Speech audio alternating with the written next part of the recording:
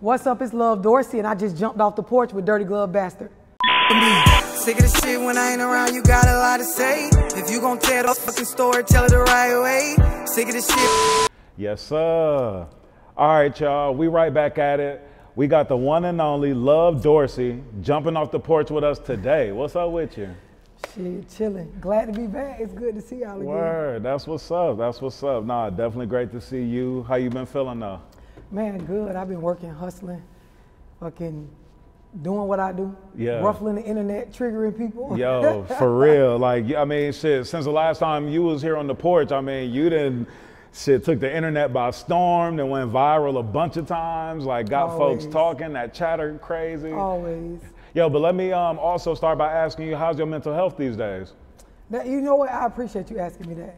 And it's good, you know, based on what I teach, my brand, what I stand for, I'm always checking up on that. Word. That's that's first before the physical. Yeah, nah, for sure. And you know, like the person who's in the shoes of, you know, delivering the message and you know being the person to always help other people with their problems. A lot of times, it's easy for people to not ask you how you Right. doing or not ask you, you know that. So They don't never check up on the strong. people. Yo, I'm telling you, for real. But shit, a lot of times, I mean, a lot of times, shit, that, that, that strong person, they they got their counsel and they person that, you know what I'm saying? Yeah, because you know, you everybody go through shit. So the same way, you know, I teach and counsel and help people through their shit, I go through my shit too. Yeah. But I, you know, I know enough to check up on, like I said, I check on my mental health before the physical. Like, Yeah. you know what I mean? Like that's if the mind ain't right, it don't even matter how you look in the physical. Right. That shit carry over to everything. Nah, it controls sure. everything. It's the head of everything. Yeah, no, for sure. So, so do you do you truly practice what you preach? You? Absolutely, you got to, and that- that's what I'm saying. Like, in order to continue to do what I do, um, you know, stay true and, and real to the topics that I talk about. Yeah. I got to make sure I'm in a good space. I say this all the time. Like my platform, especially like on Instagram and Facebook, it is well beyond me as the individual being. Meaning, like, it has grew to a point where people use that platform, those pages for therapy. They use it to be able to get their mind right, you know, manage their emotions, Yeah. take a look at their traumas, their generational curses. So if I'm on that motherfucker talking about, you know, just emotional shit that matters to me in my own personal life, Yeah. it would be doing the page a disservice, the, Yeah. the entire brand I built. No, for sure. I saw um, I saw somewhere where you were talking about how people was getting mad when you was like disabling your Facebook page, Yeah. or you know what I'm saying, because it was like they true like place to Yeah. for therapy and for refuge. Yep, that's still a thing. Like if I if I were to ever deactivate or just, you know, take the content off the page, even just for a day, it and this is really what showed me how responsible I need to be with my platform. Yeah. Cause if I take that bitch down, people wait a minute, wait, I watch I binge watch your videos like this keep me from doing this. And it's male and female. Yeah. Like women talk about how my content has helped them change for the better, move differently with parenting their children, relationships, Mm-hmm. life, and then men talk about how watching my content has helped them realize a lot of stuff about themselves, their mental health, their upbringing, treating women different, treating themselves better, just you know, looking at the real shit. Yeah, no, for sure. Now, a lot of your content uh, is controversial, even on the tip of where you have a lot of women who get upset at you about Yeah. your content because you speak to the men in a way of giving us game on how to not get duped, you know what I'm saying, basically, um, you know, by, by women, but then also talking about, you know, women like, uh, and, and, and the subject of accountability, Yep. you know what I'm saying, which is like really uh, sensitive, you know, right now. it's it's a it's a trigger for women. Yeah. Like if you start talking about accountability, if you have, because you know I have live videos and you know reels I posted where I'm I'm just talking to the men. Mm-hmm. I'm just giving them game on certain stuff about us as women, and it it always trickles back to helping us mm-hmm. in tune like females. But when you're not woke, you know that third eye ain't open. You don't really see it that way. You see Yeah. it like, oh, she for the dudes, or what's the verbiage that they use? Oh, she'll pick me. Right, You know what right, I mean? yeah. They think I'm just talking just to appeal to dudes, but Yeah. my content really breaks generational curses. Like I speak on stuff that if we start really putting this to the forefront of our conversations, it'll change the dynamic on how we treat one another, how we're raising our children, how we look at ourselves in regards to how we apply ourselves and focus on certain stuff in our life. Like it's a big deal, but females do they get upset. Nah, for sure. And speaking of like breaking generational curses, um, a lot of the things that you are talking about is, you know, like in terms of like men growing up in the house only being raised by a woman Yes. and like the ways that that affects Yes, us and and our ooh, they hate. emotions. I just had to, um, I had to delete a comment off my page, Uh, and, and I'm, I'm gonna tell you something. When people trigger, you can just see it. Mm-hmm. They can't see it, but you can see it because they go on and on in their comments and in their dialogue with stuff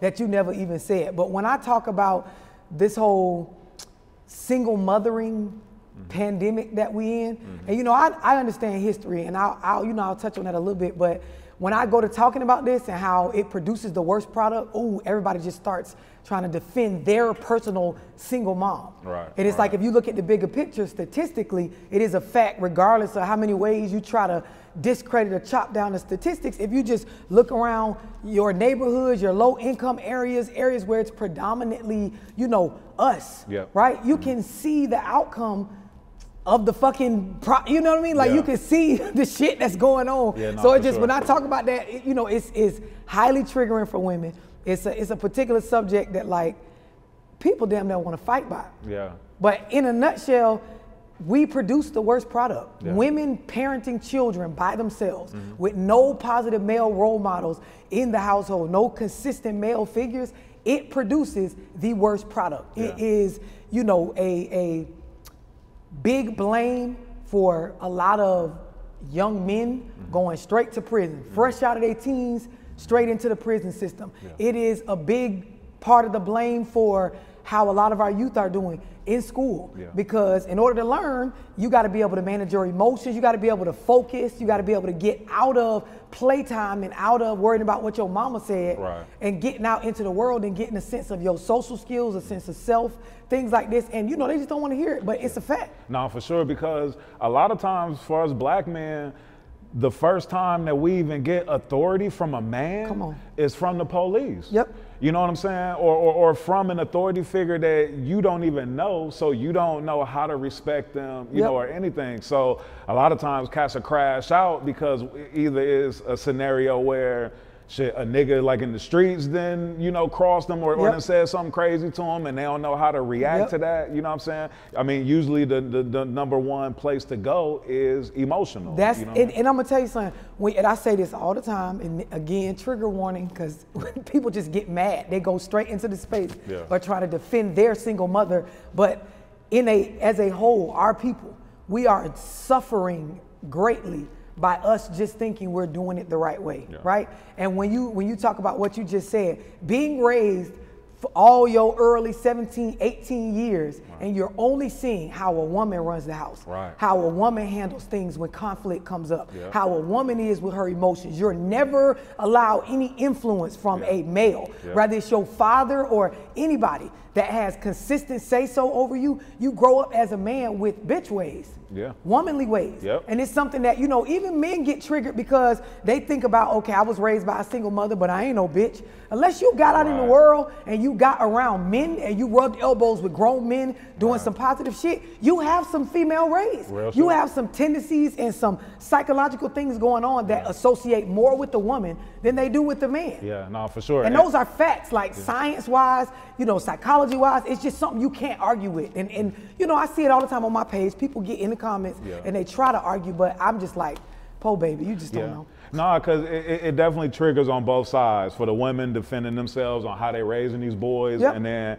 as a man, I mean, shit, you don't want to hear anything saying that you're anything less than being a, A man. Yep. You know what I'm saying? Um, so something that was interesting for me, where I came to the realization with this, my therapist broke it down for me. Mm-hmm. Um, I grew up single single parent mom raised me Mm-hmm. but then i happened to have my, my granddaddy help raise me too and i There was like go. really close to him so i was breaking down some scenarios to my therapist like a couple of different scenarios i was going through with some folks and after i broke them down she asked me she said how would your granddaddy have handled Yep. those scenarios Yep.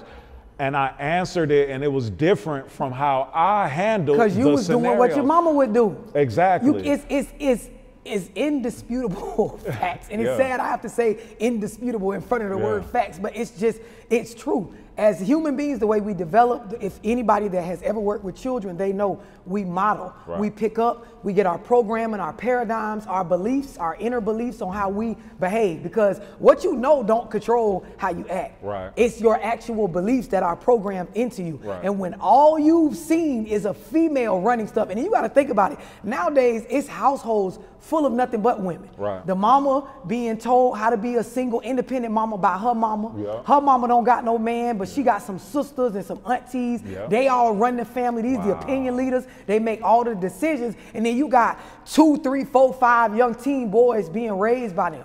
Literally my Yes, and it gets to a point where it's like, how long are we gonna keep pretending like this shit makes sense? Right. And then, you know, like I said earlier, I'm gonna touch on it a little bit, and this bothers a lot of people, but I gotta say, I understand a lot about history and where our people come from. Mm-hmm. When you don't understand that there was an agenda to economically castrate black men, to separate our households, to make it where welfare programs actually solicited mm-hmm. and was lustful looking to women as long as they kept the men away. When you don't understand that this is where this shit stems from. Right, And this is just a part of it, but this is where it stems from. You when you don't understand this, you will think that as a single mother, I made the decision to raise my children by myself. Like I made that conscious choice. No, you didn't. You was programmed. And your mama was programmed, and anybody before you that did this from a happy space, like this is the thing to do, bragging about it, advising other women under them that girl,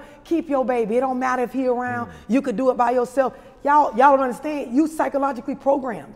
Because in the late 1960s, early 1970s, there were governmental programs that were put in place for welfare. It was put out mm-hmm. there that this was welfare. Yeah. This was to help low income and poor families, mostly us, Yeah. right? Yeah. And so when these programs came about, they made it where you get food stamps, cash assistance, housing, all these things. But one of the main stipulations was you cannot have a male in the household. Right, right, yeah. The other part of it is they would send around social workers, which some people know this still goes on today. Mm-hmm. But when these programs first started, this is one of the main things. Social workers would come out after they giving you these benefits to make sure you don't have no man in the household. right, yeah. And so the idea is if you if you if you mix the crack epidemic, you mix where we were coming from from like the industrial revolution and the deindustrialization, like just if you can go through history and just educate yourself, you will see where wait a minute.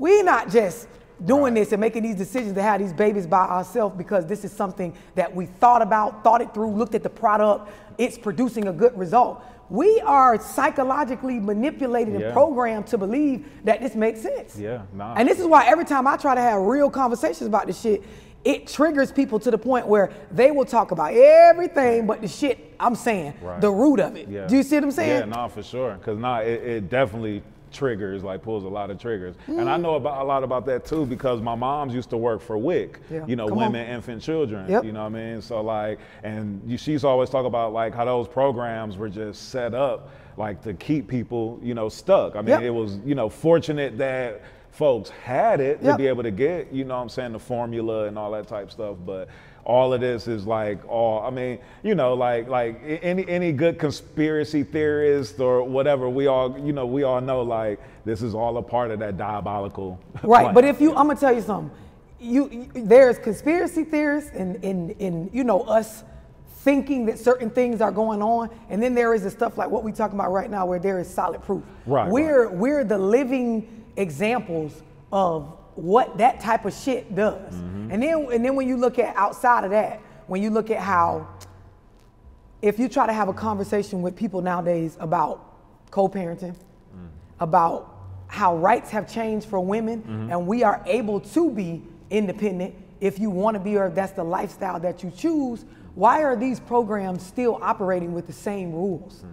Because back when they first started, women, we didn't have as many rights as we have now. Our rights have progressed. Why do you still have it where we can only get this help without a man when, especially for our people, women are participating, black men, women participate more in the labor force than black men? Mm-hmm. Do you see what I'm saying? We're, we're advancing shit is going on where it's different. So even if you try to go into the conspiracy area, you still can't make it make sense as to why are the rules still the same on getting this assistance and these governmental programs? Why do I have to X my baby daddy out, the father out of the picture, whether we together or not? Why does it have to be just me by myself making under a certain amount to get these programs? It just shows that it did what it was supposed to do. It programmed our mindset to believe that this is the way to go. Right. So now we're defending single motherhood.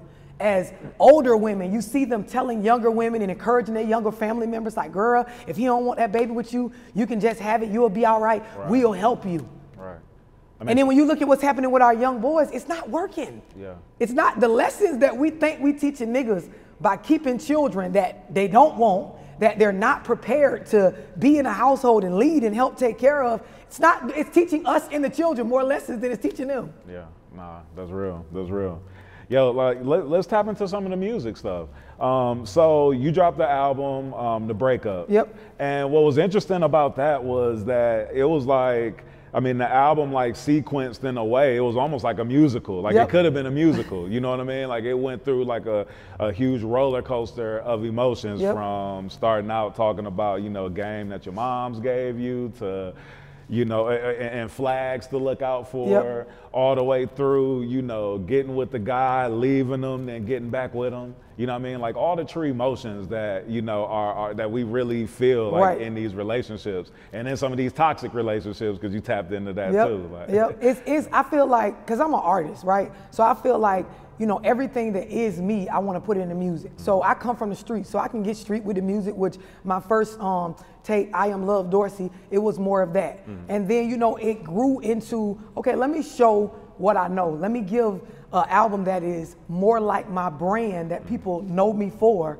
um, in regards to my content online as an influencer. Let me get into the therapy. Yeah. So that you know the feedback I get from the album The Breakup is this is a therapy album. Like Yeah, I can sure. put this on as I'm going through shit, and it's gonna be a song on that that's gonna hit with the mood I'm in. Mm-hmm. From relationships and being kept a secret, because you know now with the internet nowadays, it's like people worry about that. You gonna post me if you don't post me, Right. and you trying to just do it off the internet. Are you hiding something? You- Right. if I post you, is a bunch of people gonna come out the woodworks? You know, I got songs on a song on there about that. Toxic, just being in that relationship where you going Mm-hmm. round in circles. Like we we arguing, fighting, we knowing this ain't going nowhere, but the lust is strong. We soul tied. You know, I got that particular song. Then I even go into just, you know, the, the mindset of us as a female as we go through our different emotions. Mm. Because I feel like we need to tap into that and be real with ourselves. Some shit we gotta be accountable for. It's on us with these relationships. Like niggas do be lying. They do be doing some bullshit. Yeah. But we be playing along with the bullshit in this imaginary space. Huh. Like we don't know what the fuck going on. And we know what's going on. Yeah. Now, two songs on the project that was really interesting to me: uh, "Revenge of the Bae" and "Even." Yes. And those tap into a subject that's like really sensitive for us men. Yeah. Because like you basically talk about, you know, dealing with, you know, the shit from a nigga and him cheating Yep. on you and, and, and you catching him a bunch of times. Yep. But then like the one time you go out and do your thing and you know what I'm saying, now he gone and he out. You know what I mean? I want to ask you, you know, because that's a, that's something that's really sensitive with Mm-hmm. men. Like when we get cheated on, I mean that hit our ego so hard, and, and we damn near out. But Yep. women will tolerate that Yeah. more, more than us. And so it's like, okay, so on the song, I speak on how, you know, nigga cheated four, five times. Yeah. I cheated once. But, you know, that dynamic, because it's a, it- you know, it's a double standard. Like, men can't tolerate what women tolerate when we get into that toxic shit. So it's like your four to my one, nigga, technically we even. But niggas will still leave, like when the song over, you know, I got dialogue in between every song Right, yeah. on that tape. You know, the dialogue at the end, this niggas, like they leave, like they check Yeah. the, y'all check out one time, y'all check the fuck Out- out. out of which. I understand the psyche behind it, but women, we will put up with a lot. And I feel like it's, it has to do with the history of where we come from with relationships. Mm-hmm. It's, you know, it's more of us being the victim. So it's like, it's not that bad. It's, it's the stigma we've been going along with as women. Yeah. Like we'll we'll tolerate. We get more and more in that space of being independent, but because I do this, this is the thing. I'm an artist, right? But then I do therapy behind the scenes. Mm. So I do the one-on-one phone calls where people pay to speak to me to get life advice, right? Mm. So I know on Front Street, a lot of us as women, we boss ass bitches, we look good, we building brands, we got businesses and shit, but we still putting up with niggas cheating. Yeah. Like when, when a bitch get on the phone, like, oh, you look at her page or her profile, you would never think like, nah, he cheat on her, she leaving. But when I get on the phone, we we we sticking around. Yeah, yeah. So y'all, so y'all talk that shit, but y'all y'all go Right. stay- Yeah. And why and why do you why do you think though that like women will tolerate so much more like than a man? Like, I'm a, I'm a, so I'm gonna be brutally honest with you and the ladies that may watch this. When we get with dudes, we be knowing what y'all are. Meaning like we know clearly the same flaws that y'all know y'all got. That you won't speak on, that's hid mm-hmm. behind your ego or the designer or the car or you know the dick, whatever. Mm, right? We Yeah. be knowing. So a lot of times a bitch be knowing up front, this dude got these kind of tendencies. Mm. But we want a relationship image so bad mm-hmm. right? That we will go along with that. And then if you mix the self-esteem issues, the lack of a father figure in our childhood for a lot of us as women, we when you don't have that growing up, there's something in you as a female, and this is just a part of femininity that you long for that masculine companionship. Yeah. So a lot of times we can see all up and down. This nigga is never gonna live up to what I want him to be, but god damn, it feels so good as we connect, as we fuck, as I am able to say this my people's. Yeah. This is something I didn't get. Mm-hmm. You see what I'm yeah, saying? yeah, yeah. No, I can dig it. I can dig it. Now let me ask you this: um, Do you ever, you know, like you you've gotten more recognized from speaking and from you know like all of the therapy and the sessions and things like that that you you know that you do like when you were first starting out and and, and you know aspiring to be an artist like did you expect for your point of view and, and, and you speaking to actually like you know push past your art you know what i mean I so to be honest with you, I did because I know what I am, Mm-hmm. right? And and when I say that, what I mean is, I am an artist, but I'm also if, I go back to my upbringing, I was raised with you know both parents in my life. You know, my family is headed by men. Um, I was a nerd growing up in school, Uh-huh. meaning like I wasn't the one that was out there with boyfriends in middle school or even Mm-hmm. the late years in high school. So for me, I read a lot. Mm-hmm. I'm addicted to information. I'm an autodidact. Like I'm big on teaching myself things that are bigger than what my family knows. So for me, I know that while there's a lot of creativity, there's a lot of artistry within me, there's a lot of intellect, there's a lot of perspective, there is a lot of um, what's missing in our community. So for me, it's it's I knew that people would want to hear my music, but they would also want to hear me talk that real shit as well. Yeah, no, I can dig it. I can dig it. And let me ask you this. Um, so, in terms of, all right, how do I want to ask this? So, I know that like you you've been in a relationship for some years. You're you're engaged, um, planning to get married soon, right? Yep. Yep. So, um, a lot. So uh, another scenario or another issue between men and women, I think, are when us men are dealing with women who are in their masculine energy. Yeah. And so, in the most respectful way to say it, I mean, I think like women, like as entrepreneurs, as bosses, you know, all of that, like you have to be tapped into that masculine energy. Yeah. But then I want to ask you, how do you then balance it out to also tap into your feminine energy and make sure that you're giving your man what he needs to still be able to feel like a man, but then also, you know, you maintain like who you are and you know what I mean, like your whole Right. I'm gonna say this, right? It, it, it starts with your programming. Your programming is your upbringing, and then after your programming, it's your life experiences that determine how you are. For females, when you are raised and programmed as a child that men have a certain authority and power and value, mm-hmm. right? There is a certain part of you that the femininity comes out automatically when it is men in general, especially a man that you respect and you love and that you're taking on a relationship with. Mm-hmm. So for me, the dynamic comes out natural around my man. So when I'm on my platform, when I'm doing my music, when I'm doing my boss female shit, that is that. Mm-hmm. When I'm with him, it is a whole nother realm and mm-hmm. it's programmed into me. It is something that, again, it comes from my upbringing. I was raised with a father in my life. So, you know, I ain't never really been out here looking for um, fulfillment or my that little girl in me Gotcha. isn't going through the world looking for a certain lock in with a man for the wrong reasons or to dominate a man to make myself you know, feel better. Yeah. It just comes natural. And you know, I tell this to women when I do Zooms and stuff on femininity. You have to understand that in order to attract a man that matches you being in your feminine space Mm-hmm. at all times in regards to your family life, you have to understand it starts with you and if you're tapped into your true self. Because a lot of what's going on with us, it goes back to the same thing I said about us as single mothers parenting. Right, when you yeah. raised by nothing but women, right? It feels so uncomfortable to have a man exert any sort of authority or control over you. Mm-hmm. So there are a lot of women that they struggle to build relationships with decent men.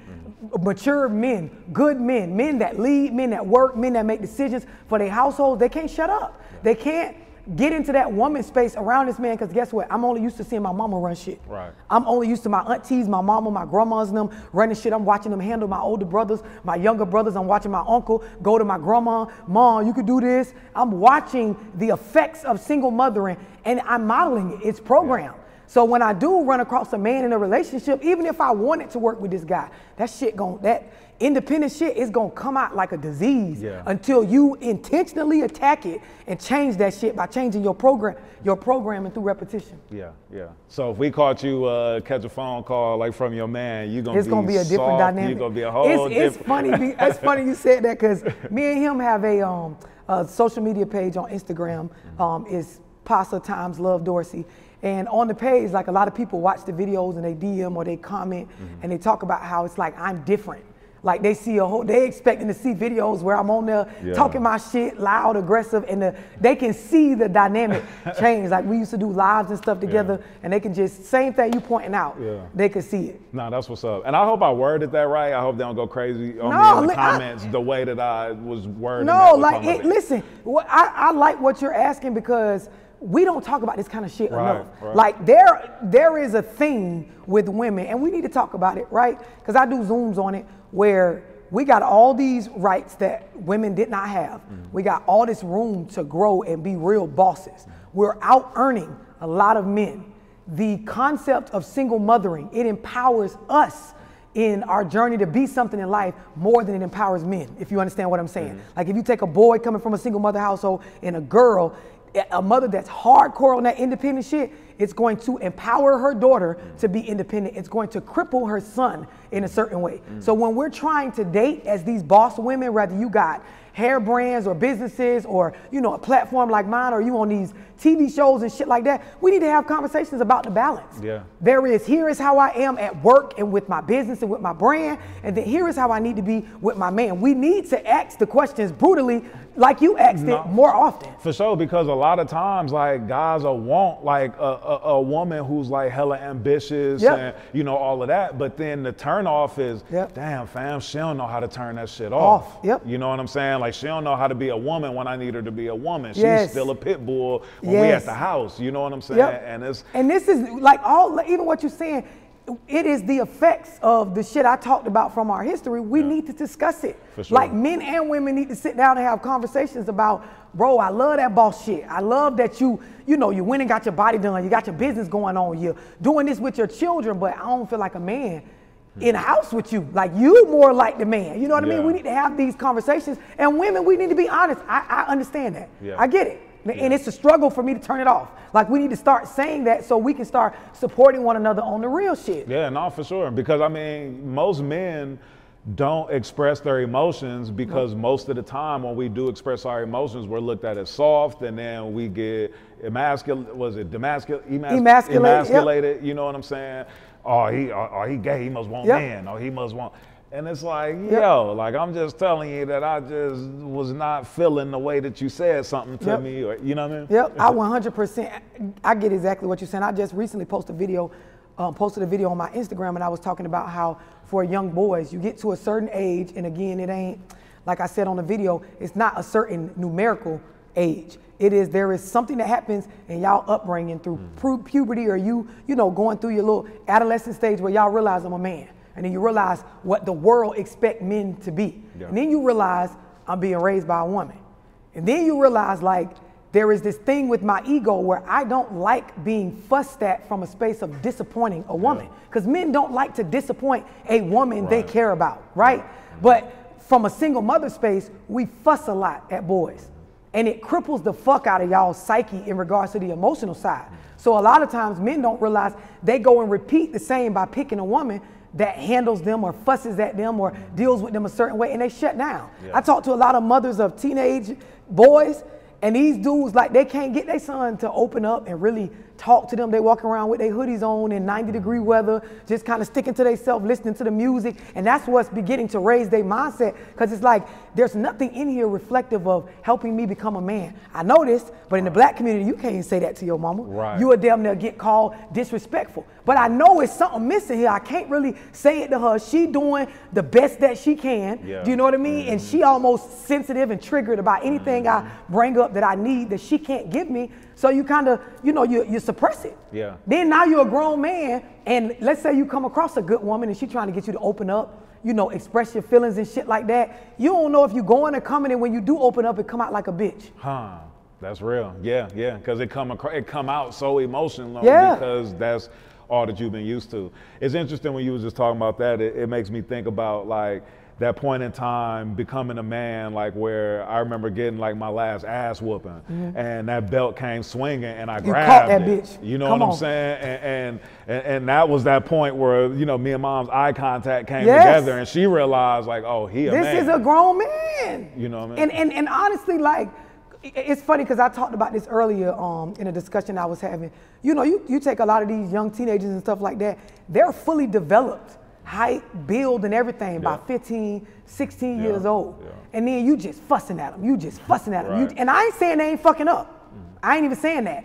But m- men should have been came into the picture and took over with influence. Yeah. The problem and the reason why, like I'll go back to what I said about the statistics, as single mothers, we produce the worst product is because at some point we have to pass the torch over to men. And back in the day, this was understood. Hmm. You know what I mean? You get to a certain age, mama's sending you out to go cut grass with Mr. Earl down the street. They got the lawn service, or they take your ass up to the barbershop after school to go to Mr. Dave's barbershop and sweep Yeah. up hair and listen to men. They understood, let me get some men influencing you. That shit is missing, and even educators tell me all the time because I get DMs, I connect with people that work in the school system, and they talk about how, you know, as as single mothers, it's a a triggering space for us to hear about the shortcomings socially and intellectually in our children. So you can't tell them shit. Hmm. We don't want to hear shit about our babies. So when somebody tell you, hey, your son is playing this, this, and this, Oh, yeah. it's like you damn near offending them. Right. You know what I'm saying? Right. Instead of them getting that information and moving on it and getting with the guidance counselor. So now it's like a block put up where can't nobody influence the children but them. We got to start admitting we don't have enough tools and skills as women to make no fucking man a man. He got to Yeah. get that from men. So you got to get mentors. You got to get them in programs, get them in groups and social circles where men are able to tell them something without you putting your womanly influence or two cents on it. Right, that's real. That's just like you know the the. I feel like the thought process of like it takes a village Yes. to, to raise one. Like I feel like that's kind of out the window these days. Yeah. Because nobody wants you to tell their kid shit. And I'm gonna tell you something else. It I teach that it takes a village, but what I call it is resources. You need people, places, things, environments that are supportive of you producing a good product mm-hmm. with your child, right? This means that you need to, if you are a single mother, get out in the community and find resources for your fucking children that are men. Yeah. Positive male role, and it's gonna get uncomfortable because if you ain't have it, it feels uncomfortable to go to men and ask for help, but you need it. Your children need it for them not to be another fucking statistic. right, right. Now you've been releasing ebooks uh, Mm-hmm. recently. Um, what was it? Uh, the four. Th- there was a four-page one that I. I- Yep. So I got my management of emotions. Um, It's a mini e-guide. It's, it's designed for you to keep in your mobile device or your phone, and it has all the beginning steps for you to start as an adult or a young adult learning to manage your emotions. Yeah. Because this is part of the reason why when you come from a single mother household and you struggle with the emotional part, it will directly correlate with you going to prison. Not because, oh, your mother's raising you to go to prison, but most of our men, black men, they go to prison for mismanagement of emotions Yeah. thinking things are bigger than what it is because it feels bigger than what it actually is, unable to weigh the facts with reality, unable to look at the situation and make decisions based on conflict resolution, being able to manage yourself. And there's this accountability thing where with our people, we love to say like, so and so made me do it. Like if you wouldn't have did this, I wouldn't have did this. Right, yeah. Like yeah. regardless of how any situation triggered you to feel, mm-hmm. you still in responsible. You are responsible for your actions behind it. We don't like the I don't know why we don't like to admit that. people don't like to take the responsibility. You know what I mean? Like it, it- it's, it's tough for people to take that responsibility. Like I did this shit, or I, or I'm the reason why you know these outcomes are what they are. Yeah. Um, one part that you uh, in, in, that, that four-part guy um, that like really stood out to me was um, intrinsic motivation. Um, just talking about like actually like having motivation like past like Yeah. a monetary um, value or past receiving something Yes. monetarily. Yes. Like I mean, 'cause- because that's like that's like the true uh, basis of discipline. Yep. You know what I mean? Like being able to get yourself to wake up every morning at a certain time, get yourself to write things down, Yep. get yourself to, you know, repeat certain things. Yep. I mean, it's like in the beginning, you don't know or you might not see the results, even lifting weights or doing push ups or some Yep. shit. You know what I mean? You don't see the results in the beginning, but you doing it knowing that, hey, down the line, these things are going to, you know, It's, you, it, uh, it's funny you said that because, you know, I talk about, it's all about tolerance. Like in, in life, you're going to tolerate and go through shit, right? When you get to a level where that third eye opens and you understand how this shit works, you will intentionally tolerate stuff based on trying to get somewhere. So, for example, if you're trying to get the abs or the cut arms or the build or, you know, whatever physique, you're intentionally tolerating the pain and the sweat and the stress of going to the gym, Right. the trying to stay disciplined and consistent with doing it, you're intentionally tolerating that particular stress or, you know, negative field in order to gain something out of it. When you set your life up with goals and you tackle your day to day based on I'm intentionally going through certain shit mm-hmm. for a particular outcome, it will lessen the amount of bullshit that you have to tolerate unintentionally. Right. You see what I'm saying? Because life gonna throw shit at you and you're gonna go through shit when you ain't focused. If you just decide what you're gonna focus on, but you can't do this if you can't even manage yourself. Like in my e guide, I talk about management of emotions is management of your thoughts, Hmm. right? If you can't manage what you think, you're not going to be able to manage your words or your actions. Right. And the idea is most of what we think, it comes from our environment and our inner beliefs. Your inner beliefs come from your upbringing, what was programmed into you, and then your environment is the space you're sitting in or that which you're still in from what your parents put you in. So and, until you like decide I'm gonna take control of this, you'll be in this cycle. And like it's it's a lot of moving parts that affect it. But okay, I have this conversation with people where and, and it's very triggering, but I talk about how we in a space with co-parenting and, and this co-parenting term is getting so big because of the single parenting shit. We mm-hmm. think that it's a good thing to mm-hmm. raise children by ourselves. So we're having more and more babies outside of marriage or outside of some sort of commitment where we both take on this responsibility of family Right. as one, right? So we're having babies in a space where one person is really the only person in the situation a lot of times that mm-hmm. wanted the child. We're not being honest about the situation in which the kids were born, and then you lay that on top of the unmanaged emotions and the childhood trauma, and it's just disaster. So, what I mean is, and I say this often, women are the only beings that decide if someone's going to be born. It takes a man and a woman to make a baby, mm-hmm. but a baby coming into this world is the sole choice of a female. So it's like these women and these family units that have multiple children and it's just a female.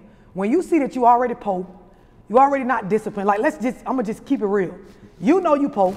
You know you're not really disciplined. You know you come from a family that don't have generational wealth. You know you ain't planning no goals or got no big shit that you're working on. And you keep making this choice let's go past the unprotected sex part hmm. to just keep birthing these children. Mm-hmm. Then you're birthing them from men that you are not putting any thought into choosing. It's just all about feeling and lust. It's a cycle that we're repeating that it will stress you the fuck out. Hmm. And this is why I'm so big on stressing this point because as women, we tan ourselves up. While looking beautiful and all, building businesses in the home life, we tearing ourselves the fuck up, repeating the same shit hmm. like it makes sense. And then we think that we're teaching men some sort of lesson by saying like, oh, well, I'm gonna keep this baby and raise him by myself and you gonna be on child support. Hmm. You get sending a check once a month and me doing 99% of the rest of the work is not fucking even. Really, the person that's getting the lesson is me and the fucking kids that's gonna become a statistic or a product of a household with just me. Yeah. You see what I'm saying? Mm-hmm. Most men, they moving on, getting new relationships, building businesses, fixing all the stuff that you chastise them about fixing and moving on with somebody else while you're dying inside in regards to relationships and family. Right. Because we make it look good on the outside, but be going through it at mm-hmm. home, just as a woman, feeling inadequate because like you don't want your family. Or like you ain't, you know what I'm saying? Right, right, And- right. And the shit starts with you can't even get into the work on your self-esteem until you figure out how to manage your emotions. Huh. Damn, that's real. Cause like a lot of times they'll, I mean, they'll have a kid to try to keep the dude. Yes, and then when y'all don't stay, like when we had that baby, it's like, okay, I tell you I'm pregnant. And then you like, okay, but love, I ain't in no space where I can take care of a baby right now. Like I don't, in the end nutshell, you don't want it. And you offer to pay for the abortion. Hmm. Me, coming from a single mother household, my mama in my ear telling me, you don't need him, keep your baby, hmm. I help you raise it. Now, one thing about our community, right, we'll say a lot of shit we gonna help with until it's time to do it. Like mama will help, but there's gonna be a certain point where she start chastising me to take care of my own fucking child, hmm. right? At that moment when I'm getting less help, she ain't babysitting every time I wanna go out or do this, or hell, it could be school or anything. People are only gonna help to the extent in which their life allow. So grandma only gonna do so much. This makes me more bitter and bitter about the fact that you didn't stay, right? Then you move on. I had this baby with the sole purpose to try to keep you here. And my mama made me feel like if I keep it, I'll be all right because she gonna help me. Right. It didn't make you stay. I'm watching you on the internet move on with another girl. You might be finna get married, you and your business. You ain't even gotta be wealthy or nothing, but you, let's say you got your CDLs, you working for a company, you on your consistent shit, you got a girlfriend, y'all posting and shit. I'm over here with the baby. Now I look good, but now my mama getting on me about not being able to do so much with my child. That make me madder at you. Hmm. I'm watching y'all. Now you can't get your son I meet that girl. Now I'm putting you on child support. Now it's all this bullshit. It's really bullshit, and it's coming from my feelings. Ain't nobody doing nothing to me. Like this is the the fucking aftermath of my choice of having a baby with somebody that didn't want a baby. We not in the fucking 1940s no more, where it was a time where women didn't have rights and men understood they have a duty to take care of the woman and the child. We in a day and age where women are out earning men at a big pace. Mm-hmm. So when when these men that you fucking with are raised by single mothers and they seen nothing but they mama running a household with four, five kids, if I call you, baby daddy, you need help, it's hard, like bitch, you ain't doing nothing. And your mama, mama did it with four of us and she was straight. You'll be all right. And then bitch, I don't like your attitude anyway. You unpleasant. And I mm. told you I ain't want no fucking baby. Mm. Right? But you thought you was gonna make me. And then you telling yourself, watch this, we go in a space of I'm a victim. He doing this to me. My life looked like this. The issues I'm having with my mama, the kid, just being a kid, kidding, like parenting is going on. Like this shit make me mad at you. You know what I mean? And we don't admit as women that I'm bitter. We'll never say we're a bitter baby mama. We be bitter as fuck. I be mad watching you, even for the dudes that are involved with the child still after they told the female they ain't want them to see you pull up and get your son or your daughter and don't give no fucks about me. I'm human. That hurt. Damn, he got in the car with the jet pulled off and ain't say shit to me. Right. I done came to the door with some little shorts on. He hmm. ain't even looking twice. Ain't even paying you got jet and slid off. Next thing you know, you on the internet with my son and your girlfriend and y'all. Ooh, I want to kill your ass. Ooh, wee. But we don't, you know, we ain't, this is stuff that, to be honest, where it's coming from, is normal. Yeah, no, It's not that sure. you abnormal for feeling like Right, this. right. It's that we need to have talks about this so we can get to the solutions on processing it and being better. Because then you got these kids that grow up and they hate their daddies because mama been in the house telling them that their daddy ain't shit, Yep. or you hear mama arguing with daddy on the phone Yep. about, you know what I'm saying, about something. So you just grow up thinking this man ain't shit, but this man just Yep. been kind of forced into a circumstance. And listen, every Father's Day, I make a live video talking about get both sides of the story. So if you was raised by a single mother, regardless of the outcome, in order to have your balanced view, you need your mama's perspective and your daddy's perspective. They get so mad on Father's Day when I talk about this, especially females. Because the thing is, as independent single mothers, we're controlling as fuck. Mm-hmm. And so if it's something you want to know about your dad, I'll tell you. You know what I mean? Even if I'm not gonna say this, I'm gonna tell you. So on, on one of my lives, like last year, I proposed the question: Go to your mama and just tell her, you know, that hey, I want to get my daddy's side of the story on a lot of stuff mm-hmm. that I went through growing up, that we still going through. I want to ask him some questions. Hmm. So when I'm older and I'm outside of your house, I want to have a conversation with him. Most mamas, independent minded mothers, are gonna try to ask you what questions you wanna ask your daddy, and then they're gonna proceed to try to give you the answers in an effort to get you to not talk to him. Hmm. Because there's a dynamic to where a lot of that shit that your mama was feeding you, it wasn't fact, it was feelings. Hmm. It was her experience with him that had nothing to do with you, and it xed out any of his viewpoint. Hmm. Which from the female space, they feel like it don't matter. But it's so relevant because a lot of boys repeat the cycles of their fathers and without wanting to, Yeah. they repeat it because they didn't go get educated on what the fuck was going on so I can make better choices than what my dad did. Yeah. And we, we shelter in our community from that. Like you, you probably don't even know no grown men that was raised by a single mother that was able to have that talk with their father and ask them real quick. It's not a lot of them. Nah. Nah. You see what I'm saying? Yeah, yeah, definitely not. I, I got a newfound relationship with my pops, like maybe about seven years, about seven years now, and he and I were able to sit down and have a real convo. But it was this was well, first of all, this was before I ever did therapy, so this was before I was even in any type of healing mm-hmm. process. So I really didn't know how to accept some of the things that he was sharing with me. Mm-hmm. Even and, and now when I think about it. I can more accept it, more understand it, mm-hmm. because he was coming to me man to man, Yep. like, hey, I've been in scenario, scenarios like this where I've had, where I raised a kid, thought that he was my kid, found out 10 years later or so that he wasn't my kid. So when you came around, the way you, me and your mama ended, I thought it was the same way with you. Yep. Now, being in an emotional state at the time of hearing that, I remember just going crazy. Yeah. Like, fuck you mean? Yeah. Like, you my pops. I look Yeah. just like you. You know Yep. what I mean? But, you know, like just, but. It's so it's so- it's it's so funny to me. Like, okay, I know you know like shows like the Maury Show, Yeah, yeah, Divorce sure. Court, Oh, yeah. and you know they play the episodes on the internet now where there are a lot of cases. A lot. This is like when I'm saying a lot, I'm really putting emphasis on this. There are a lot of scenarios where, as women, we lie about paternity. Hmm. We be dead ass wrong. We be lying. We done fucked you, fucked you, got pregnant. It might have been after we broke up, so maybe I ain't cheating fuck, but I fucked you, fucked him. I know, even if I don't know which one of y'all the daddy, I know that I fucked both of y'all in a time frame Yeah. that match up with like not knowing who the father is. Yeah. We'll just pick. And, and, And then there's and no I- accountability in it for what the fuck is doing to the child. This is just take the dude out, take y'all out. We don't even give a fuck what it's going to do to the child.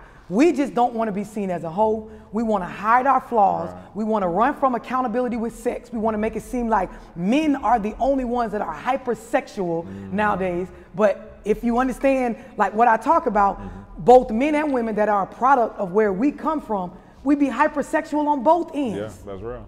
And so and it's a, it's it's a it is normal based on what it's coming from. Yeah. If we have conversations from that space, we'll be able to be more real with one another. I mean, but the folks is fucking and having kids. I mean, the woman have had to have wanted to have sex just as much as the dude. Yep. You know what I mean? It's two people fucking. Like, but but see when you when you bring children into it, women we want to be righteous, even when we don't know what right. the fuck we doing. Yeah. Like I I do some one-on-ones with women, they don't know what the fuck they're doing. Hmm. Like and I say this very respectfully.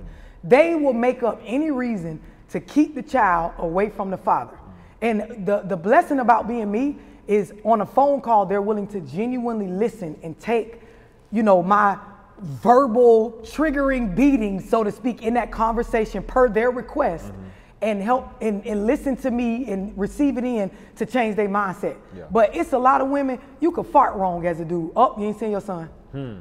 You are you with that girl? Oh no, your daughter can't come over there. Hmm. And we don't care that it's it's psychologically, statistically proven. Schools talk about it that children coming from a two-parent household are a better product. Doesn't mean that every fucking product from a single mother household is bad because if you get the community involved, you could actually do a good job. Yeah. But you are, are setting your child up to be a statistic as you parent based on ego and feelings. Hmm. We don't be knowing what the fuck we be doing a lot of the time. right. And then because like y'all run, you know what I mean? We be, the child be left with us, and we we be mm. all over the place. Yeah. And we just wing it until the end. And it's kind of like if I get you through, if I get you through to high school, you get your you know your high school diploma, you know, you get a good job. I feel like okay, good. But you fucked up psychologically. Your social skills off. You hypersexual. You don't understand certain things about real life skills. Yeah. Like I, there are a lot of people I talk to when they got grown, they realized how much they missed, how much they were missing from their upbringing. Right, financial literacy, credit information, um, social skills to build yourself up enough to go out in the world and get uncomfortable for the right reasons, boundaries, how to set them, goals, how to set them, healthy eating, exercise. Like these things weren't programmed. What was programmed was do what your mama say. Right. Right? Come in my house at a certain time, follow my fucking rules. Don't talk back. Yes, ma'am. Yes, sir. Take your ass to school. Your report card better be decent. Don't be fucking in my house. Right. And if you get that little girl pregnant, I ain't watching that baby all day long. right.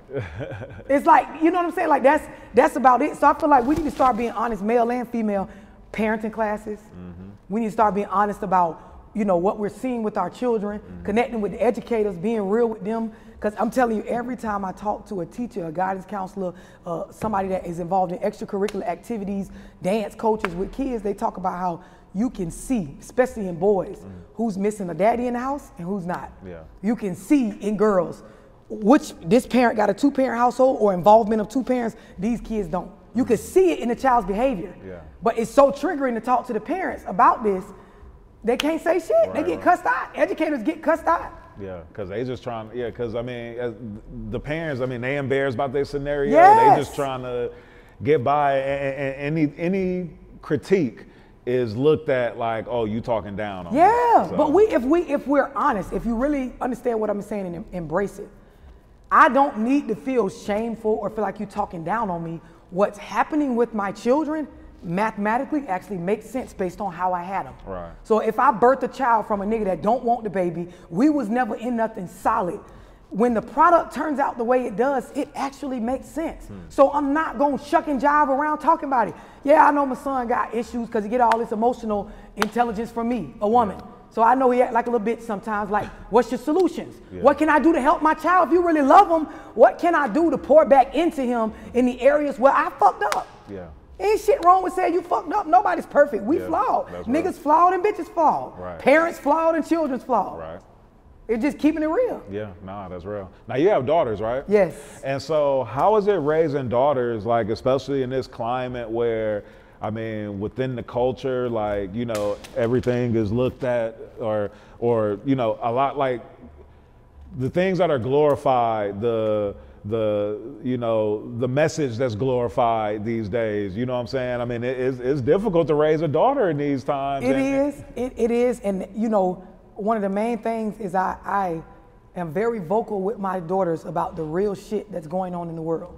The way that we are sexualizing the fuck out of ourselves, the way that the music tells you to sexualize yourself, the way that music tells you and the TV shows tells you to be violent against other women, catty, um, you know, the way it tells you to make love and sex transactional. Mm-hmm. Like I have these real conversations, so you know, my daughters can see it. Yeah. At a very young age, they can see it. And from a parent space, I'm big on educating. So my babies can read at age 2 mm-hmm. You know what I mean? I posted a video on my Instagram, my daughter, two years old, reading books. Mm-hmm. So I, I start them off young, working the fuck out of their brain.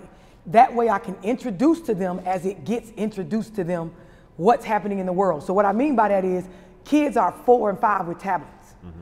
Even if you don't give your kid a tablet or a phone, they're gonna experience the internet at school or around friends. Right. So what I did was I made my kids work their brain from an advancement space because I know they're in an era where they're gonna get information faster than you and I did.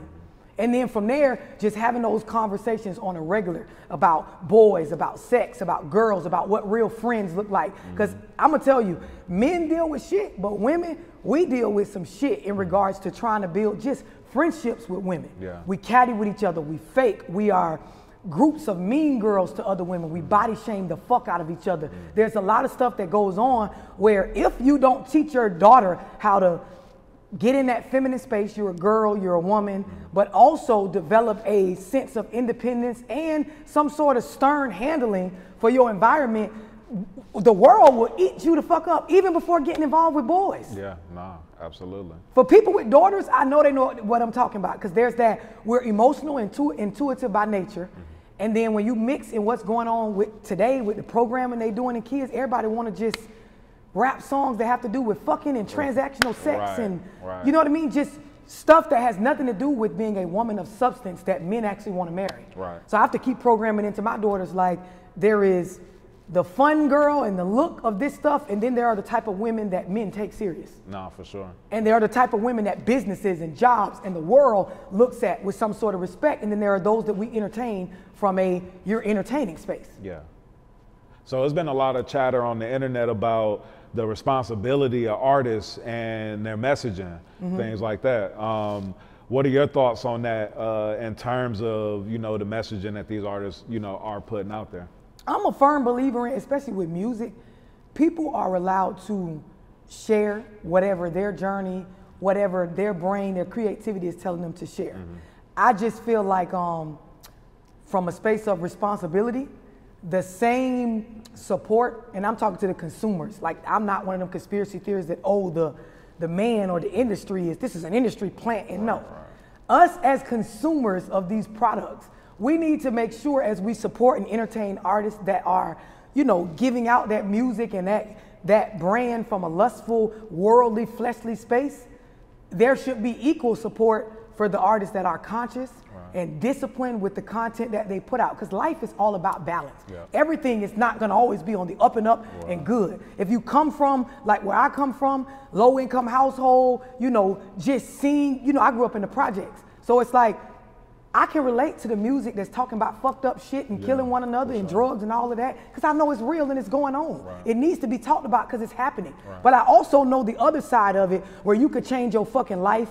You could save yourself a lot of headache by getting more in tune with self, accountable for your choices, being real that the way your life look is on you and your upbringing, breaking generational curses. Like there's equal value in both, if you ask me. Nah, for sure, for sure. Um, what would you say uh, like fulfills you, you know, these days? Like, you know, you know, between your artistry, between just everything that you're doing. I mean, e- even being a mom. Like, what what fulfills you these days? like what you asked me in the beginning, looking after myself. Like I stay motivated and fulfilled by seeing about myself. And when I say that, I mean going into what bothers me, what because all of us have emotions, we have feelings, right?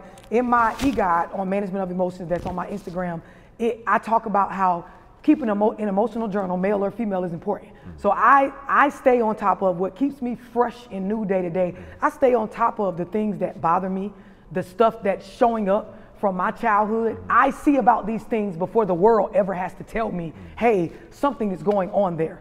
So when I wake up in the morning and before I go to bed at night, I'm seeing about me. I'm doing a, a self check, so to speak. And then everything about me that needs nurturing, I nurture that shit. Mm. My creative side from my music and my platform, my intellectual side, you know, the parts of me that's yearning for more information, mm. I see about that. The physical, I'm exercising. The health wise, diet, and understanding, you know, the information I know about the food industry and what's going on. for It's a lot of shit I don't eat. Mm-hmm. Do you see what I'm saying? So I'm seeing about myself health wise. I'm gonna exercise. I'm gonna not put so much of this type of food. I'm gonna stay away from the heavy salts and sugars and, you know, the red meats and the pork and all the fucking carbohydrates and things that are not good or reflective of me being every bit of what I'm supposed to be. And then keeping a positive environment. Like making sure I chose a man in my life that understands the value of family, self care, honesty, integrity, leadership, uh, fairness, mm. balance, but also understanding that men and women are equal. Like that was important for me to find in a partner. Mm-hmm. And then making sure my environment is reflective of peace, but making sure that first and foremost, I bring the peace mm. Mm. to my children and to my man. Like I come with order. Yeah. And not order like I gotta discipline you to get in order for me. I come with the responsibility and the understanding that even for my children, like my youngest daughter, she's 10 years old. I come to her from a space of, I wanna bring you peace. Mm. I wanna parent you, but I want it to be positive. I want you to feel good about having me as your mother. I want you to feel good about the conversations where, you know, they're uncomfortable. So for me, when I say bring peace, it's to my children, to my man, and to myself. I feel like if we get more into a self check of, am I a good person? Yeah. You know what I mean? Do I have certain boxes checked for myself? Yeah. Then I can attract and demand that shit from y'all. Yeah, no, that's real. That's real. Because I could say that, like, I feel like over the past year, I've probably been at this, like, point where, like, physically, emotionally, spiritually, like, I feel like I'm at, like, the best place, you know what I'm saying, I've ever been. Right. And, and, and being in this space, it, like, really took, like, for me to be intentional Yes. about, you know, like myself, about Yes. my health, Yes. about, you know, like just different energy that I, you know, bring into my life, different people that I allow to, you know, bring energy, you know, to my life, things like that. So it's like being intentional about like all of those things. I, I never knew, you know, like when you would hear these health buffs and Yeah, whatever. it sounds cliche. Yeah, it sounds It so sounds cliche. so cliche. And I'm telling you, but then I mean, like even something, and I might be getting too personal with this, but this is something that I experienced like recently, where like I've been on this eating clean thing, Yeah. like like like wave for probably about like nine months, ten months now, Mm-hmm. and I just went like probably about a month, two three weeks, like where I like kind of fell off. Yeah. And I started noticing my skin was Yep. Dry. Started noticing like different stuff, like my my, my voice was changing, Yes. just just different, just weird stuff. Where I was like. Bro, because when you clean your body, and I'm telling you this, when I say clean, even cleaning your mind and Yeah. putting yourself in a better environment, but the diet and food, when you when you when that negative shit come back in, when that unhealthy shit come back in, it shows the fuck up. Yeah. And this is how it's easy for us to see what's going on with other people. Right. Because I'm knowing since you started working out and eating healthy, you seeing certain stuff with probably your dogs or family members that like, bro, that's going on because he don't eat healthy or he don't work out or he so ain't seeing by himself. My partners call me a gym snob. You know what I'm saying? Because I e- even like we was out one time and I was like, man, that fe- she don't even look like she work out. Yep. Man. Like I nah, man, I ain't about to deal with You that. can Like- tell, I'm, I'm gonna tell you something, especially for men, right? There is a thing within y'all, and you know, I don't know what you would call it, but there is something in men where you have to go get wreck.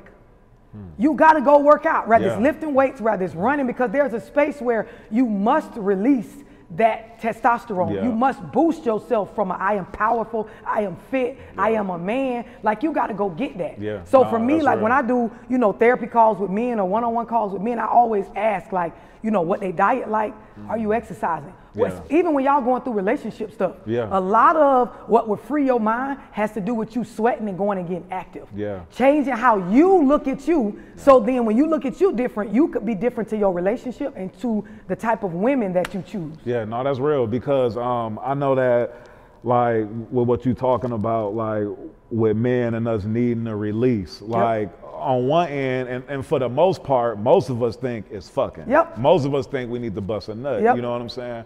But then, like, you hear about people, like, who. I've heard of like people talking about like is is it called like semen retention or Yeah. whatever like where like dudes are like hold back from actually releasing in that way. But then we still need a way to like release them endorphins and Yes. you know all of that stuff. That's so like where what the you sweating, the exercise, the working out, even there is, and, and I'm sure you know this from going to the gym yourself.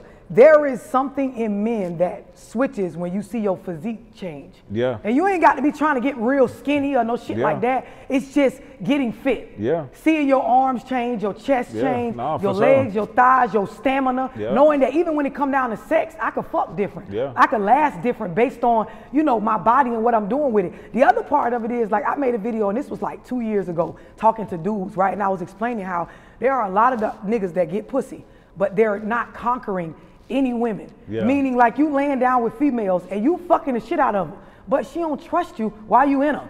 She don't trust you mm. time you get out of her. She ain't for you while you in there with her mm. in your most vulnerable space as a man. Like it, it ain't it ain't what you think it is. So you done slept with five or six women. None of them have real respect for you. None of them actually view you as a man. They'll call your ass lame in a second, cuss you out, pour all your business out on the internet. If they had babies from you, keep your kids from you. Like men have to start being more accountable for the situations they're walking themselves into and what they're allowing Yeah. in their environment. Yeah. They bring in chaos to themselves by dealing in spaces where, like you said, they think they only need to release through a nut. But see, that's tough though because as a man, like we pretty much program like to conquer. Right. You know what I'm saying? Like, and so a lot of times we in these scenarios with these four, five different women that we smashing because like it is. I mean, we're programmed where, I mean, like to conquer. Like something that I, I was talking to uh, one of my partners about was like the pressure of a man, uh, the pressure that a man has, like when we just travel out of town. Yeah. Like, if I go if I go to LA for a couple of days and, and I come back and I call one of my partners like, man, just got back from LA. Damn, trip was dope, man. First thing he asking me, Boy, you got some pussy. you fuck something? Shit, you got you some put. You know what I'm saying? Yep. Hey, and if you didn't, it's, It's like almost the like, fuck you was doing. womp, Yeah. Like, what was you Yeah. doing? Like, nigga, what was you hitting me? But we need y'all need more the culture we need as a people, more big homies that's on some real shit. Yeah. Everything ain't about getting a piece of pussy. Cause the thing about it is when you start doing the stuff you talking about, that shit comes to you and the women respect you. Yeah. My whole point is like in the video I was talking about, I was explaining to men, you can sleep with a bunch of women. But when you lay down with women that I'm gonna stress again, they have no real respect for you. It's like you didn't even get no ass. Because watch this. Your dogs will big up you for fucking a bitch and turn around and laugh at you when that same bitch clown you. After you got the pussy. Yeah. It, it- you, you see how in the same sentence, you, it ain't so ego boosting when that same bitch that you just told your dog you fucked and he dapped you up about it. Now she on the internet saying your dick little, or this going on with this, or this fuck nigga ain't even have no money, or he ain't do this. Your dog sitting right like, damn, bro, she tried you, bro. Look how Right. she, damn, they in the comments, bro, they clowning you. Same nigga that boosted you to get that pussy. Yeah. You see what I'm saying? It's, it's like we need more big homies telling younger niggas like, hey, bro, get in the gym, change your diet. Yeah. These bitches gonna be after you They when gonna- they see that you are like reserved with yourself. Right. And I ain't saying you can't get no pussy. I'm saying you attract a different type of pussy when you carry yourself a different For way sure. as a man. For sure, for sure, yeah. When you when you carry yourself with that confidence and that and that self awareness, I Yep. think that's like the biggest Yes. like thing that we've been talking about and kind of jumping back into is like that self awareness of like of, of knowing like shit like I'm putting in this work, so shit I'm I'm I'm up here, I'm Yep. of this stature, or I'm you know what I mean? Yep. It's it's it's that that self worth, self esteem. I'm gonna tell you something else. Like, you know, and we don't talk about this enough. It's yet another topic we don't talk about enough. But there is a lot of pillow talking going on with dudes because they don't have male role models or a brohood where they can speak to them about real shit. Yeah. So they laying up with women talking about their dealings with other women. They laying up with women going into all of their financial issues. And when I say laying up with women, this these is niggas, this not their wife. This, They just don't got no pocket where they can go to Big Bruh or my Gotcha. homie or Yeah. a, a, a resource pool of men Yeah. that we can discuss. Hey, bro, I'm fucked up right now. Y'all know where I could go get work or find this or be better with this. They going to women for everything. Yeah. Babe, you can give me $300. Babe, you can help. I'm just fucked up. A nigga need to get back on his feet. Even for niggas in the streets. Yeah. Like, bro, you got to have some male resources where y'all collectively, you know, coexist as men in a space of we having conversation about how to be better, exchange information, right. resources. You see what I'm saying? Yeah, Like, yeah. niggas is laying up with women talking about things that you shouldn't be discussing with a woman, especially if this is not a woman you ain't laid claim to. Damn, did that go back to these uh, dudes like where you raised by your moms Yep. and you just comfortable? telling a woman. I have dudes that, you know, they trying to break that. Like, they uncomfortable dealing with men. Cause they never had men influence them in their upbringing. When they daddy came around and tried to like say something, they mama felt like, don't nobody give a fuck what your daddy said. Yeah. I, you, I take care of you. He don't do shit. Yeah. And because he ain't buying shoes or putting in whatever monetary stuff, she feels like he's invaluable. Like there's nothing he could give you. So now you're a grown man, and when men are trying to give you advice, you damn near want to fight, shoot a nigga, Right. kill. You Yeah. get upset, you puffing your chest up, and a nigga telling you every bit of what's right to Right. grow yourself as a man. Yeah, nah, ego is one of the most deadliest diseases. Yep. Like I'll say that. But men teach men how to be aware of their ego. For sure. Then from there, the man will tame it once he does have a purpose, a family, a focus, a business, a real career, something he cares about. He will then tame his behavior centered around his ego like willingly. It will be intentional from self. yeah. Word. Yo, can we get the ebooks as audio books? Yeah, I could do that. And you know, it's, it's, it's people have asked me that even for my book I wrote years ago. Like it's a it's a workbook, it's a guide that you use, you work it into your life to, you know, just really boss yourself up as an individual. And people they're like, Dorsey, you should just do the audio book. I just want to listen to the shit. We need that. I'm telling you, like going on a walk or you know what I'm saying. We need that. Get you some Andre 3000 flutes behind it or something. you know what I'm saying? I But- fuck with that. Yo, but nah, I, I- I definitely think that uh, the ebook, like uh, with audio, will, will be killer. I just dropped another one on my page, and this one is to help you reprogram, shift your paradigms. Okay. It's, That's it's, the 40 page. Yes, it's okay. like 42 slides Yeah. or 42 pages, if you just will. downloaded that And, one. and it's set up a certain way to penetrate the psyche. Mm-hmm. So it's a bunch of different pages of information that has to do with real life. Like it's mm-hmm. straight to the point. So there's shit in there on the seven different streams of income. Mm-hmm. There's shit in there on, you know, relationships. There's stuff in there on self-care. There's stuff in there on being aware of life, attachment styles, there's certain shit. And what it does is the idea is you get the e-guide, you read it twice a day for mm. 60 days straight. Mm. It's going to reprogram a lot of your beliefs. And then it's also it's going to touch you in a conditioning space where when you see this certain information consistently, you start to know it. When you start to know it, you will attract it. It's like when you buy a certain type of car and mm-hmm. then you start seeing a bunch of that type of car Right, that you right, just right. bought. Yep, when you program and you keep seeing this type of information as you go out in life on your same frequency, you're now going to start attracting things that match with that information that you keep feeding yourself. And the idea is you want to look at it ideally when you wake up in the morning before you go to sleep because human beings that's when we're at our most vulnerable. Yeah, yeah. Before we go to bed and when we wake up. Yeah, nah, for sure, for sure. That's that. That's that. Uh, well, I think that guy Napoleon Hill, um, you like put that out there too in that Think and Grow Rich book, Yes. where you like write down all your goals. Yep. Like, yeah, no. But we, you know what? When, when it's so crazy because in, in 2023, when you say write down your goals, it sounds so like I talked to so many people. I got a notebook. I wrote all this shit down. We don't know how to write out a, a, a goal as a real intentional goal. Right. Like that bitch have to be written out right first. Then you take it and you put it in a planner. Right. Meaning you have to put steps. There needs to be a halfway mark. Mm-hmm. Each step needs to have a date on it or a this needs to get done by, or here's the schedule for me doing this. It's like when you hear somebody say, I want to buy a house, right? Mm-hmm. And they write down by December 2024, I want to have purchased a home. Right. There is so many inner parts that you need to set dates right. for. Fixing your credit, finding a realtor, deciding what you could spend, going through a first-time home buyers class, or getting the money up to as a down payment. You know, deciding what what you what type of loan you want to go for, understanding interest rates and how to do the math with that. Getting your life in a place where you're disciplined with making payments. Like all of these things need to be set up as the s- smaller steps Yeah. to the bigger goal of Yeah. purchasing the home. We don't do it like that. We just write down, right, I'm gonna just buy a write house. down what I want. Yeah, Try nah. to save up ten thousand. Got to get them short term, long term goals. Yeah, build up to it. No, for sure.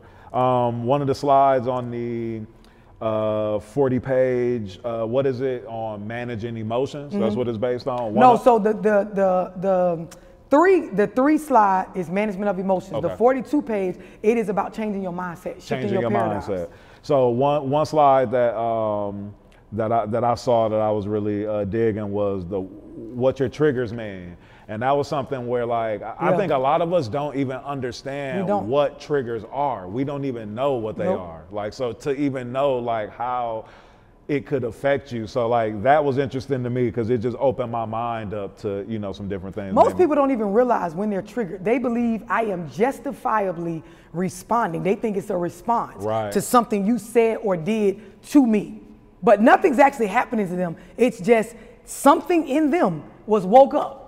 And if you get the e-guide, it'll really break it down and it'll start helping you reprogram yourself. The other thing is when we talk about triggers, like for example, I have a book club, right? Mm. And in my book club, there's a book we're reading right now that's on triggers. Mm. There is so much to understand about being triggered. And then once you understand what triggers are and you understand your triggers, you can start being a better person to yourself. Mm-hmm. Like when we talk about doing better, you got to understand what makes you feel some type of way in order for you to be better. Because of course, a lot of us we don't realize our environment is set up to trigger us. Like we got shit and people around Right, us right. that trigger us. How could I ever get focused as a man or a woman if my everyday life is set up to make me feel some type of way? Hmm. Is it possible to be attracted to things that are your triggers? Yep. Yep. And it has to do with what's familiar in your subconscious mind. Hmm. So a lot of us don't realize from our upbringing, things that we were exposed to, right? From it could be trauma, it could be good shit, bad shit. Mm-hmm. It is familiar to your subconscious mind because I've seen this before. Yeah. When you have seen something before, you've been through it, it makes you more comfortable with it, even if it's uncomfortable. Mm-hmm. This is why, you know, people that go through, you know, abuse as a child, it ends up repeating in their adult life in some way, shape, or form because there is an attraction to it when you don't see about it. Mm-hmm. When you grow up in a household and you've dealt with trigger warning, rape, or molestation, or something like that, a lot of times it comes up in hypersexual or you being the molester or the person violating somebody else. Like it repeats itself because you're familiar with it. When we talk about money, Cause everybody ain't ain't got deep traumas like that. But being financially fucked mentally is a deep trauma. Hmm. So when you used to post shit, you grow up in low income households, you never seen anybody make a way.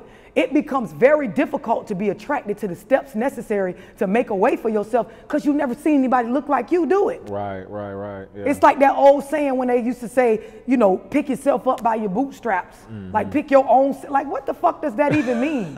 you see what I'm saying? Like Right. I, I don't got the tools. I ain't never seen this shit being done, and everything that have to do with being hood and broke, shit, I fuck with it.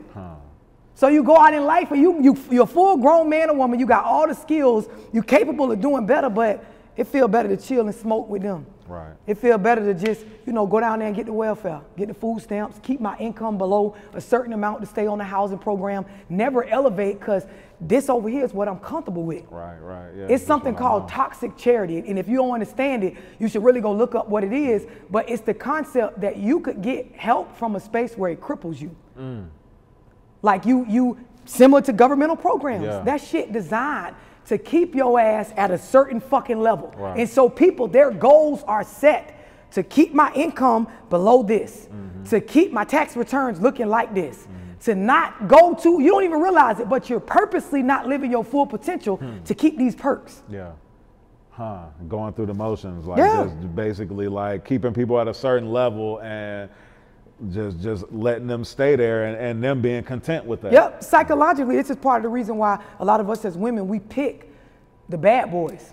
Hmm. Outside of it being exciting and shit, there's a part of it where I don't ever have to grow up and be a mature woman. Because as long as I'm dealing with the nigga that's always fucking up, guess what? I could justify my fuck ups. Hmm. You get what I can cheat Yeah. because I can. You cheated on me more than I cheated on you. Right, right, Well, right. you ain't So do this and you ain't do this. You go get a grown person. You got to be grown. Yeah. You go get somebody with boundaries. You got to have certain boundaries. Hmm. You go get a nigga that know how to manage himself and handle himself. You have to now be a woman. Yeah. You go get a masculine man. You got to be a feminine woman. And see, when you don't know how to do that, I ain't fucking with that masculine shit. Give me old boy that's the the fucking homosexual, the one that need a place to stay and I can control him by him staying with me. He ain't going nowhere. Cause the minute you act in a way that I don't like, I'm gonna get bring my car, bring me them keys, get your shit and get out. You see what I'm saying? Like Yeah. it, it makes it where I can stay this version of me. Yeah. Nah, that's real. keep keep that upper hand, stay in control. Yeah, like, and it, it's it's crazy. I've done plenty of one-on-ones where women tell me that like they're like, "Love, I know I got a problem, and I already know what you're gonna say, but let me just explain it." And they go through a situation where they say, "I date down on purpose." These are staff. These are police officers. Mm-hmm. These are women that have careers. Women that work for the government. Women that have um, trucking businesses. Women that own salons. I purposely go get dudes that you could tell they're every bit of what you talk about on the internet, a mm-hmm. product of a single mother household where he ain't got no car, he ain't got no sense of himself mm-hmm. as a man. But I get them because I get to boss them around. Like they they stick around longer, they do what I tell them to do. It feels comfortable to me. They ain't going nowhere. Yeah. So my childhood abandonment issues, I ain't got to deal with them because he ain't going nowhere. You try to leave. I'ma just bring up all the shit I do for you. That's or I go get them niggas fresh out of prison that don't got their basics together Right, right. and I could build with you and you owe me. So every time it do feel like we growing apart or you look like you about to fuck off with another woman, I'm gonna bring up how I helped your ass when you first got out and your family wasn't there for you. Don't take your ass nowhere, nigga. Yeah. Yo, on the random tip, have you ever or would you ever uh, hold a nigga down that's in that's in prison? I so so knowing what I know now, no, I will be a man's friend Right. coming off of a situation like that. I will be a resource to them. Yeah. But there is this warped reality that you could take somebody, and this goes for men and women that's in a survival season, Mm-hmm. and make them love you properly when they're still trying to figure out how to survive. Hmm. So when you go get somebody that like I'm doing a prison bid or I'm fresh out of, you know, doing some time, I don't got no car, I don't got no place to stay, I don't have anything to give you, you provide or you help the person, excuse me, get all this shit. And then you're looking for them to choose you in the end. But a person don't really know what they're attracted to until they get to that version of their self that they want to be. So I might not even be what you want while I'm like nurturing you through your survival season as a man, through Yeah. getting your basics together. This is why a lot of men, once they get their shit together, they don't even like that kind of woman that they was just allowing to help them. Oh, yeah. And niggas need to be more real about that. That's real. Like I'm fucked up. I take whatever help from whoever I fuck a fat bitch that I ain't even attracted to fat hoes right now. Like, you know, no disrespect to big women, but just showing like this, this ain't even what this man own, but he'll do it with you and entertain it right now to use you. And when he get himself together, genuinely, you ain't his type. Yeah. Same for the, the women that are boss bitches, they independent. It's like a nigga feel like this what I want. Cause I'm fucked up right now. Right. When he get himself together, he don't want your loud talking bossy ass. It don't matter if you big or small. Right. He looking for a submissive woman. Right. And now you feel like you got used and done wrong, but you ain't supposed to be trying to make nobody who trying to survive love you and build with you. They gotta get to a space where they living, they basics together, and then y'all build together and they decide if they wanna fuck you Hmm. or fuck with you. Yeah, yeah. Nah, real game, real shit.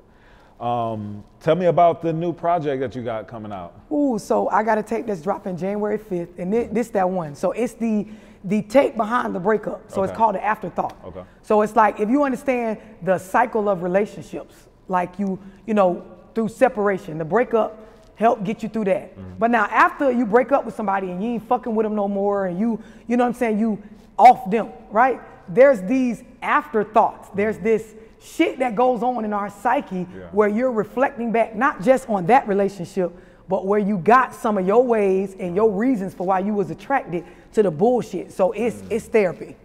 It's Right. one of the ones. Yeah, nah, that's what's up. And is it gonna be in the same vein of like of, of like a storytelling like type of project? Yeah, it's the, the songs are lined up that same sort of way. Yeah. Um, it's not gonna have the talking in between, so to speak, like the breakup did. Yeah. But you gonna hear that bitch flow, like you gon' it's it's gonna speak to you. And again, it got much accountability in there, cause that's that's what I'm for. Yeah. I'm for us being real. You know what I'm saying? It's just I can only give from my even from my creative space. I can only give that real. Right. Like I can't promote and push people to do shit from a space where I don't give you the back reasons if I am rapping about some of the shit that is fleshly or that may seem like bullshit. I'm gonna give you the story behind where that shit came from, Yeah. so you can understand the full extent of the game. Yeah.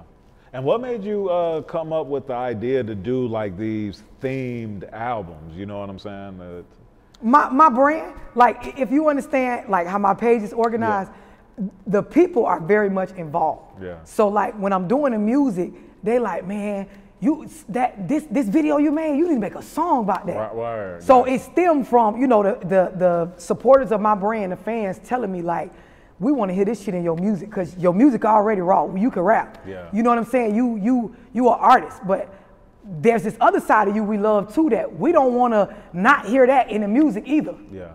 So And so, um, any features, any producers, anybody that like you were excited to work with on this project? so um, I got Pasa, um, the artist that was with Lucci Yeah, and yeah. Mm-hmm. TIG and you know that whole camp. Um, think it's a game. Um, he's on a, a couple songs. I got some some real dope features from some females that are um, up and coming artists. So I have um, Anisha Janae, and then I also have another young lady by the name of Kitty, and she can sing. Okay. So she put a thing down on On Nah. on a, on a track on there. That's what's up. And you're gonna bless us with some visuals? Uh, Yeah, yeah. So all December, because my tape dropped January 5th, Mm-hmm. all the month of December, just expect them visuals to come. And you know my shit go hard because the content, the the shit behind the music is what I'm gonna call it. The Yeah. the messages in the music, like when the visuals hit, shit gonna match Yeah, up. nah, I can imagine. I mean, the, the, the storytelling is Yep. gonna have to.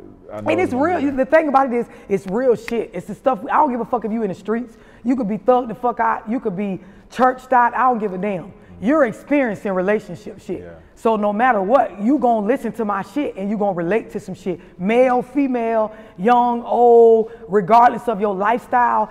This what's going on amongst people in social circles and relationships. Yeah, word, word. And um, you uh, what like what else you working on? What else you got? You know. So my I, my second book is coming in its own relationship. So that's been long anticipated. That's gonna finish up the um, mid part of next year. Okay. And then there is, and, and I hate to say it, but I'm gonna say it. There is some TV show talk. Mm. So you can look to see me. And I, the reason why I say I hate to say it is because the there are some different ideas that I'm finalizing Okay. in regards to um, the theme behind the, the show, but you'll see me on TV soon. Word. Um, there's some mainstream radio action going on, so there's big things in this upcoming year. Word. That's what's up. That's what's up. And um, you got any uh, you got any words, any shout outs, you know, that you want to give your fans? Anything before we get up out of here? Keep keep working on self.